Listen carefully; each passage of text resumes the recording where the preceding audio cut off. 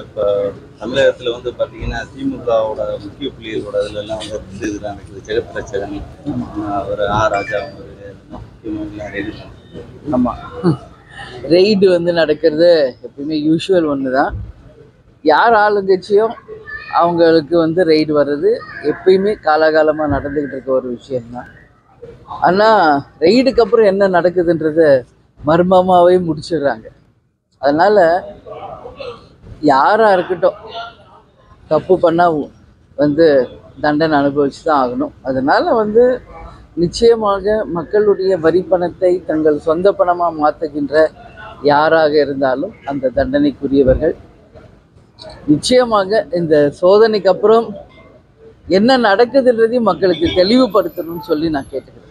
Captain அடிக்கடி சொல்லுவார் உப்பு சா தண்ணி குடிச்சு தான் ஆகணும். அதனால் ரெய்டுங்கிறது வந்துங்க இது யூஷுவல் அது பொலிட்டீஷியன்ஸ்க்கு நடக்கிறதெல்லாம் ரொம்ப காமன் ஒன்று அதனால் இன்றைக்கி அதிகமாக லஞ்ச ஊழல் தலைவிரித்து அடிச்சிட்டு இருக்கு.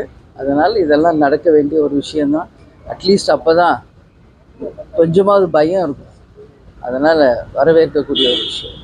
ரெண்டாயிரத்தி இருபத்தி நாலுல தேமுதிகவோட தேர்தல் எப்படி எந்த மாதிரி இருக்கும்? முதல்ல பாஜகவோட கூட்டணி இருந்தது வரவேற்பு வந்து எப்படி இருக்கும்?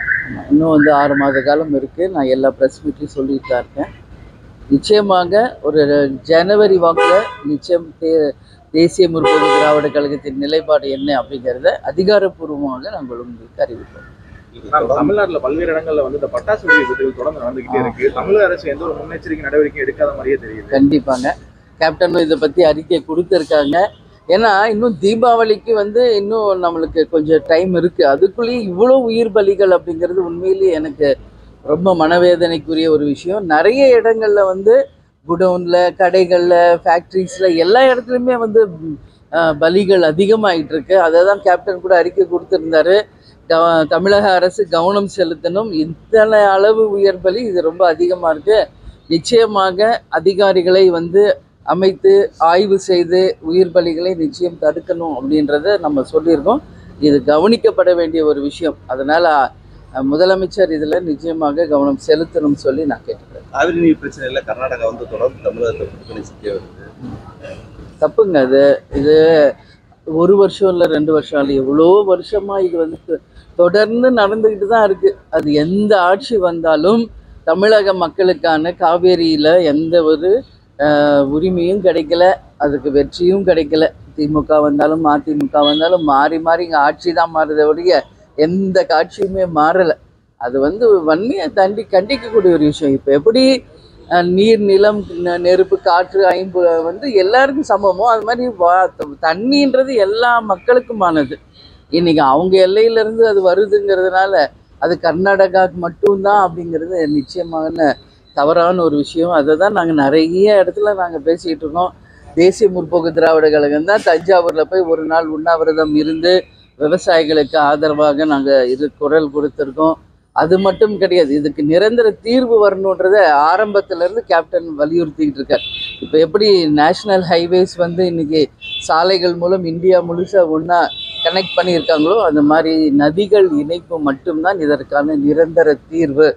அதை நிச்சயம் இனிமேல் வருகின்ற ஒரு ஆட்சி மத்திய அரசில் யார் வந்தாலும் அது செய்யணுன்றதை நாங்கள் வலியுறுத்துவோம் என்பதை இந்த நேரத்தில் போராட்டம் செய்யறவங்க வந்துட்டு நம்ம இதுக்கு காவல்துறை கைது செய்யற நடவடிக்கை தொடர்ந்து ஈடுபட்டுட்டே வராங்க. இதனால வந்துட்டு போராட்டம் செய்யறவங்க வந்து ரொம்ப ஒடுக்கப்படுற மாதிரியே இருக்கு. இதை பத்தி உங்களோட கண்டிப்பாங்க. டிபிஐயில் ஆசிரியர்கள் உண்ணாவிரதம் இருந்தப்போ நான் தான் முதல்ல போய் அவங்களுக்காக சப்போர்ட் பண்ணேன்.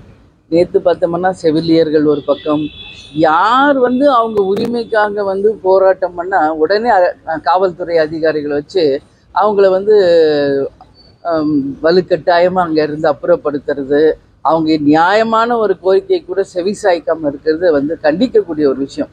ஆட்சியில் இருக்கிறவங்க வேணால் நினச்சிக்கலாம். இப்படி காவல்துறையை வச்சு இவங்கள அடக்கிட்டோம்னா அவங்க ஏதோ வெ- வெற்றி பெற்றுடலான்னு நிச்சயமாக இதற்கான பலனதை தேர்தல் வரும் பொழுது நிச்சயமாக ஆளுங்கட்சியினர் கண்டிப்பாக சந்திப்பாங்கன்றதில் எந்த மாற்று கருத்து இல்லை. ஏன் நான் இதை சொல்கிறேன்னா எல்லாரோடையும் நான் நேரடியாக போய் இன்ட்ராக்ட் பண்ணுறேன் டெங்கு காய்ச்சல் அட்டாக் அஃபெக்ட் ஆகிருக்கிறவங்க காவேரி விவசாயிகள் டிபிஐயில் இன்றைக்கி ஆசிரியர்கள் அதே மாதிரி செவிலியர்கள் எல்லாரும் அவங்க என்ன சொல்கிறாங்க அவங்க கொடுத்த வாக்குறுதியை தான் நாங்கள் கேட்குறோம் ஸ்டாலின் அவர்கள் தேர்தலுக்கு முன்னாடி கொடுத்த வாக்குறுதிகளை தான் நாங்கள் கேட்குறோம் ஆனால் தேர்தலுக்கு முன்னாடி ஒரு நிலைப்பாடு ஜெயிச்சு வந்து ஆட்சியில் இருக்கும்போது ஒரு நிலைப்பாடு. எந்த வாக்குறுதியும் நிறைவேற்றவில்லை அப்படின்றது எல்லாருடைய கருத்தாக இருக்குது இது வன்மையாக கண்டிக்கக்கூடிய விஷயம். அதனால அறிக்கையில் கூட ஒரு ஹிட்லர் ஆட்சி போல் இந்த ஆட்சி இருக்கிறதுன்றதை நம்மளும் வந்து அறிக்கையில் கூட சொல்லியிருக்கோம். அதனால் யாராக இருந்தாலும் அவங்க வந்து உரிமைக்காக போராடுபவர்கள் நியாயமான கோரிக்கைகளை நிச்சயம் இந்த அரசு செவி சாய்க்கணும்னு சொல்லி நான் சொல்றேன். இப்போ இஸ்ரேலில் பாதிக்கப்பட்டிருக்காங்க. இன்னும் அவங்கள வந்து துரிதமாக நம்ம நாட்டுக்கு திரும்பி கொண்டுட்டு வரணும். கொஞ்சம் வந்து தாமதமாக தான் அது நடந்துகிட்டு இருக்கு. அது கண்டிக்கக்கூடிய ஒரு விஷயம் தான் நம்ம ஒரு புறம் வந்து விஜய் ரசிகர்கள் வந்து நலத்திட்ட உதவியோ சட்ட ஆலோசனையும் தொடங்குறாங்க. இது அரசியல் முன்னெடுப்பா பார்க்கப்பட்டாலும் மறுபுறம் வந்து அவருடைய படங்களுக்கு வந்து இந்த தடையானது இந்த மாதிரி விஷயங்கள்லாம் வந்து நடந்துட்டு இருக்கு. அதாவது சர்டிபிகேட் ப்ராப்ளம் வருது. மேற்கொண்டு வந்து இந்த ஆடியோ லான்ச் வந்து. இது வந்து ஒரு அரசியல் நோக்கத்தோட செயல்படுற மாதிரி இல்லை இது இது பற்றி எனக்கு எந்த கருத்துமே கிடையாது. ஏன் நான் இதை சொல்கிறேன்னா இது யார் பாதிக்கப்பட்டாங்களோ அவங்க கிட்ட தான் இதுக்கான கேள்வியை நீங்கள் கேட்கணும். யார் பாதிக்கப்பட்டாங்களோ யார் அதுக்கான பதில் சொல்லணுமோ அவங்க கிட்ட யாரும் கேள்வி கேட்க மாட்டேங்கிறாங்க. அவங்கள பற்றி மற்றவங்க பேசணும் அப்படின்றது தான் இருக்கு. அதை பற்றி எனக்கு எந்த கருத்து கிடையாது. இந்தியா பாகிஸ்தான் கிரிக்கெட் மேட்ச் நடக்குது. ஆல்வேஸ் இந்தியா வின் பண்ணணும். ஒட்டுமொத்த இந்தியர்களுடைய விஷ் அதுதான். அதே தான் எங்களுடைய விஷயம் all the best to the Indian team மகளிர் தடை செய்ய கோரி உச்சநீதிமன்றத்தில் மகளிர்? மகளிர் உரிமை தொகை ஆயிரம் ரூபாய். ஆமாங்க. அதை தடை செய்ய கோரி மதுரை சேர்ந்த உச்சநீதிமன்றத்தில் வழக்கு தொடர்ந்து இருக்காங்களா? நிச்சயமாக பெண்கள் வந்து ஆல்ரெடி இதில் ரொம்ப டிஸ்டர்ப் ஆயிருக்காங்கங்க. ஏன் இதை நான் சொல்கிறேன்னா எல்லா பெண்களுக்கும் ஆயிரம் ரூபான்னு சொல்லி தான் தேர்தலுக்கு முன்னாடி ஸ்டாலின் சொல்லிட்டு ஆட்சிக்கு வந்திருக்காரு. இப்போ என்ன சொல்றாரு? தகுதியானவங்களுக்குங்கிறார். இதனால பல பெண்களுக்கு ம- பெரிய ப்ராப்ளம் நடந்துகிட்டு இருக்கு. அப்போ நாங்கெல்லாம் தகுதி இல்லாதவங்களா? எந்த வகையில் தகுதி இல்லைன்ற மாதிரி அது ஒரு பக்கம் போயிட்டு இருக்குங்க. அதனால தடை செய்ய முடியும்னா ஏன்னா இப்பயே நிறைய பேர் கொடுத்துருக்காங்க. அது சாத்தியம் இல்லைன்னு நினைக்கிறேன். பட் கொடுத்த வாக்குறுதி கட்டாயம் வந்து தமிழக அரசு நிறைவேற்றணும். அத்தனை பெண்களுக்கும் கொடுக்குறேன்னு சொல்லி தான் நீங்கள் வந்தீங்க. அதை கொடுக்கணும்னு சொல்லி தான் நான் கேட்குறேன் சரிங்களா?